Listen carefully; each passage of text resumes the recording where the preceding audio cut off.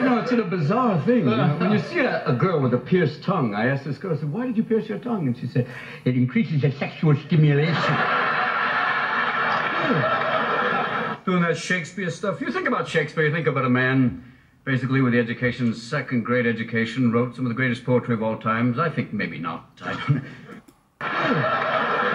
Doing that Shakespeare stuff. You think about Shakespeare, you think about a man basically with the education, second grade education, wrote some of the greatest poetry of all times. I think maybe not. I don't know.